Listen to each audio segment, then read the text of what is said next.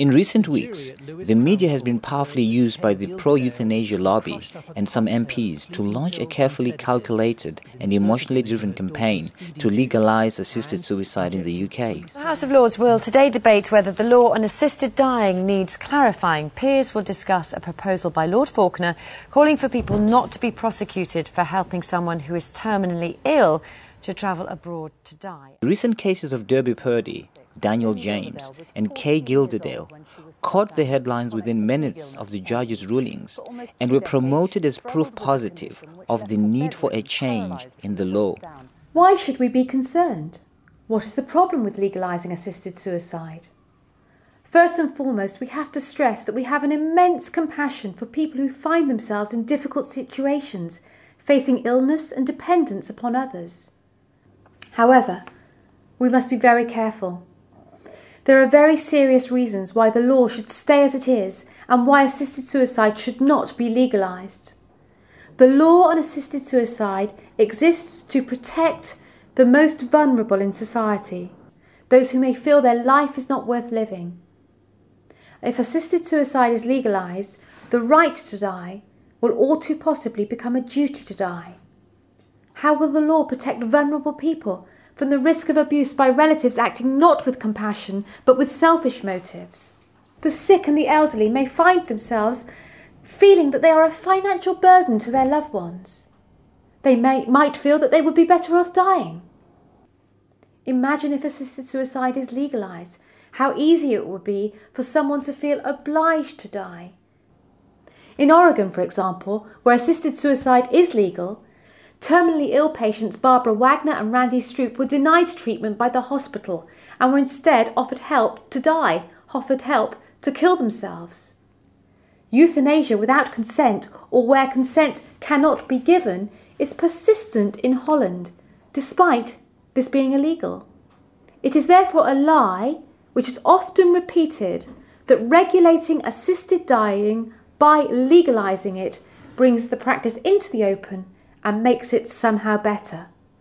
In December 2008 and March 2009, Prime Minister Gordon Brown signaled his opposition to legalizing assisted suicide, saying that he is totally against changing the law in this area. Many other top politicians, lawyers, doctors, nurses, and members of the public expressed serious concerns about the legislation. The Medical Royal Colleges and the British Medical Association take the same stance. Our parliament has decided several times that assisted suicide should not be legalized. They are all aware of the issues involved and know why they should be alarmed. I think the pressures coming from the media, a very well funded, carefully orchestrated campaign by Dignity in Dying, the pro euthanasia lobby, and clever use of a few exceptional cases which have been employed really to mould public opinion. I think a lot of Christians are confused about euthanasia, and it's not surprising when they're seeing these very difficult cases, often dramatised on television. There's a huge need out there for educating Christians about what the Bible teaches, what the dangers of euthanasia will be, what's available in terms of good palliative care, and really getting Christians up to speed. The church really has been largely silent on this issue, and that's a huge tragedy, and, and we've got a huge responsibility as CMF to help rectify that. If this law on assisted suicide is changed, even with strict limitation as we are so often told, who knows what unintended consequences there will be. Legalising assisted suicide is unnecessary, it is dangerous, and it is wrong.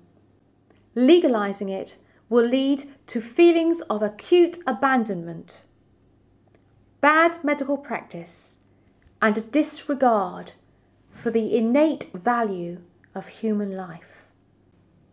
To get involved, please write to the Director of Public Prosecutions, Keir Starmer, and voice your opposition. You can also write to your members of Parliament and ask them to sign Jim Dobbin's early day motion. Complain to the BBC about their massively biased coverage. Forward this video to Christians everywhere. Pray for a miracle. Do not be deceived by a clever media campaign that calls killing someone compassionate and merciful. True compassion is in care not killing.